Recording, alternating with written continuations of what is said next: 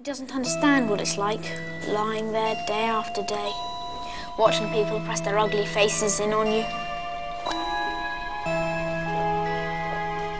Can you hear me? Funny, the damage a silly little book can do, especially in the hands of a silly little girl. Yes, Harry. It was Ginny Weasley who opened the Chamber of Secrets. Fantastic, Ginny! alone in bed till the morning. I'm crying, they're coming for me. And I try to hold these secrets inside me. My mind's like a deadly disease. I'm bigger than Poor Ginny grows weaker. I grow stronger. It was Ginny who set the basilisk on the mudbloods and Filch's cat. Ginny who wrote the threatening messages on the walls. Because I told her to.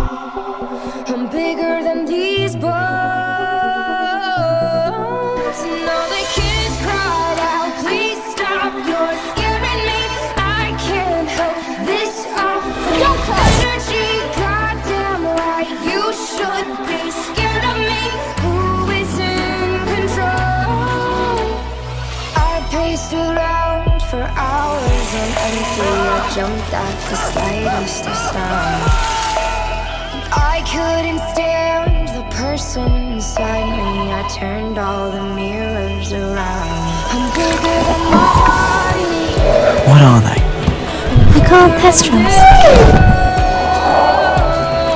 But why can't the others see? They can only be seen by people who've seen death. Who are you? What do you want? Kill the stag! Please